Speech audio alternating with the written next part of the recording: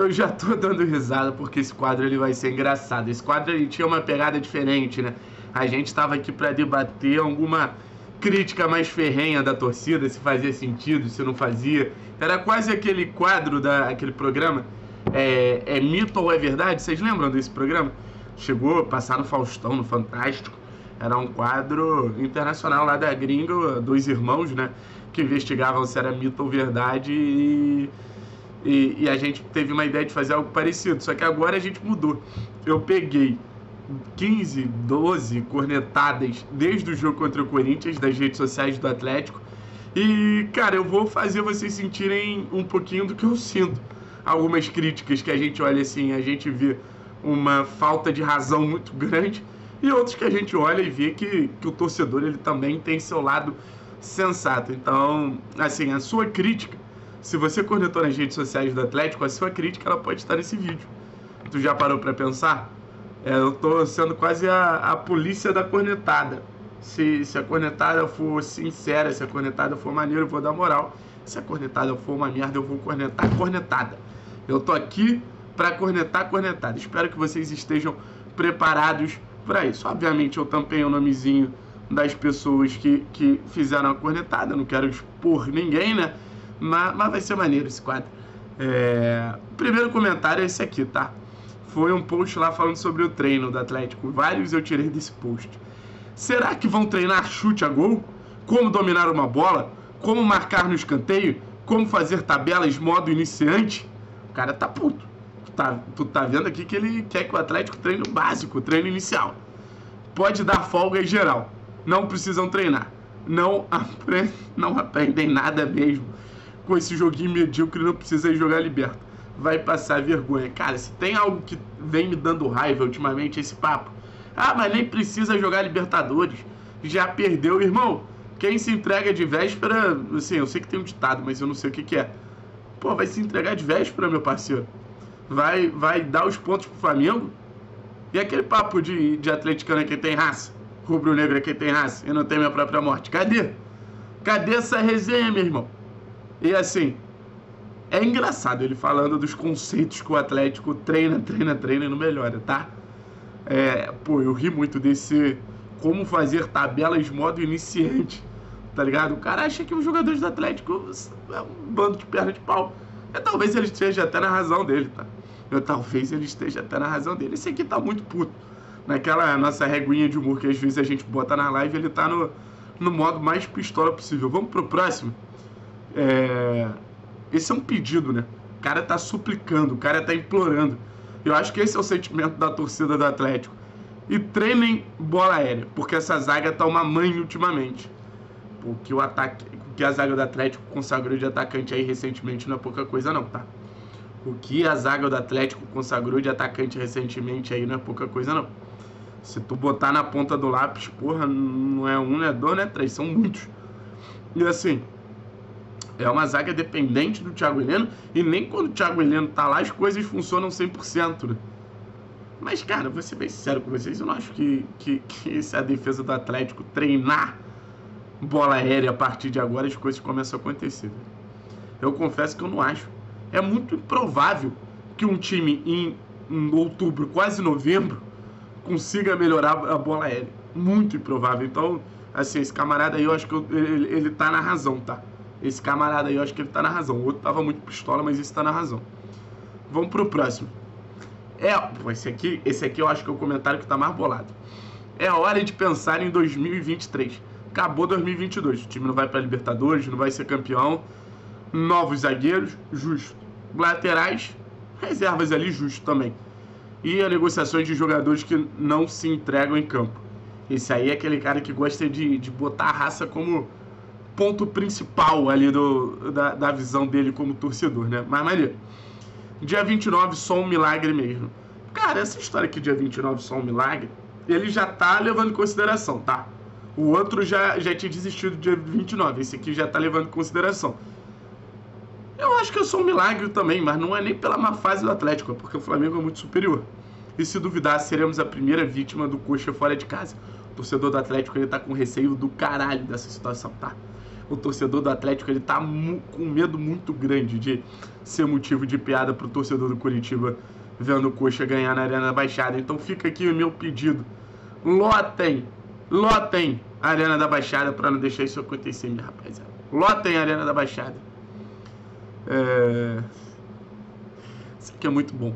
Vai terminar em décimo graças a esse Come Dorme. Eu não sei se ele está se referindo a um personagem principal, tá ligado? Ou se ele está se referindo a, ao elenco como um todo. Mas já esse Come Dorme é bom pra caralho, assim, porque o jogador de futebol, velho, querendo ou não, ele é uma função ali que ele precisa se dedicar, tá ligado? O cara fica longe da família e tal. Eu fico imaginando os jogadores lendo uma parada dessa, tá ligado? Fico, mas, pô, come dorme. Os caras, pô, viajam de um lado pro outro, é jogo, é treino. Beleza, os caras podem não estar no modo mais determinado possível, mas, pô, come dorme é exagero. É, esse aqui também é muito bom. É, é um pedido, é um, é uma. O cara tá implorando. Lembra aquele medo que eu falei de ser o primeiro time a, a perder pro Coxa fora de casa? Por favor, chega de quebrarem tabus para outros times jogadores desse Brasileirão. Times que não vencem jogam contra nós e vencem. Quem? Não sei quem. Acho que ninguém. Jogador que não marca gols joga contra nós e marca. O torcedor ficou muito magoado com aquele gol do Luan, velho torcedor ficou muito magoado naquele gol do Luan. Tão de sacanagem já. Os verdes não venceram uma fora de casa. Só falta agora.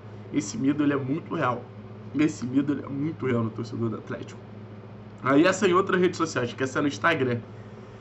O cara ele associou o site não tá funcionando ao time tá mal, pô. O site não funciona. O time só levando lambada. Tem a ver? Um é um funcionário do TI, outro é o cara que está dentro de campo. Mas beleza, mensalidade está em dia. Então façam a parte de vocês, por favor. Não deixe esse site travar não, ô programador. Não deixe esse site travar não, hein, meu profissional do TI. Para com essa porra. Vocês devem ter jogado futebol de várzea. Esse aqui eu achei o melhor, tá? Esse aqui para mim foi o melhor. Vocês devem ter jogado futebol de várzea, como se ele fosse o único na vida que jogou futebol de várzea então sabem o que é feijão com arroz. Cara, feijão com arroz é uma expressão que você usa para qualquer situação da face da terra, né? Pô, faz o básico, faz o feijão com arroz. Só isso, feijão com arroz, básico do básico. Pelo amor de Deus. Como se o Atlético estivesse fazendo algo demais, né? Como se o Atlético estivesse super inventando. Porra, nem o feijão com arroz vem dando certo. Vamos ver se inventando alguma coisa melhor. Mas, meu amigo, que eu não posso falar quem é porque eu tampei o nome, nem o básico vem dando certo. Eu entendo sua angústia, mas nem o básico vem dando certo. Esse aqui meteu assim, ó.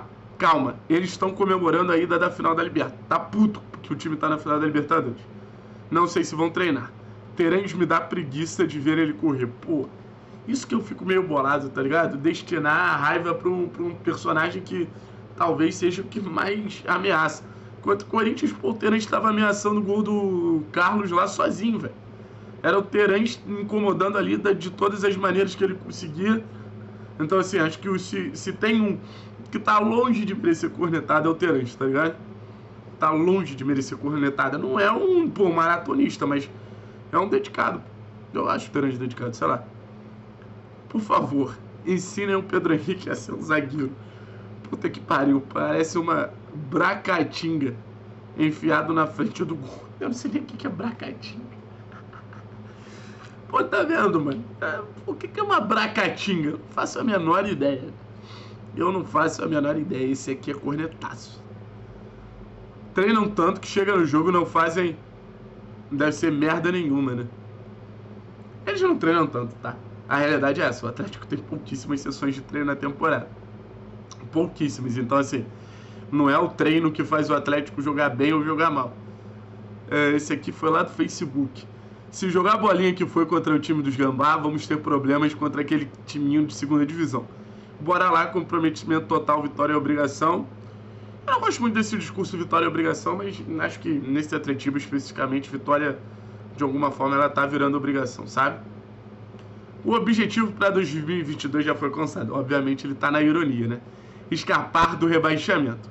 Quanto a Libertadores, tenho dó dos nossos jogadores, pois eles não têm culpa por serem pé de rato. Só espero que o fantasma de 7 a 1 não nos pegue. É porrada no O Filipão virou o, alvo principal dessa galera, né, velho? O Filipão virou o alvo principal da cornetada. É, errado a torcida.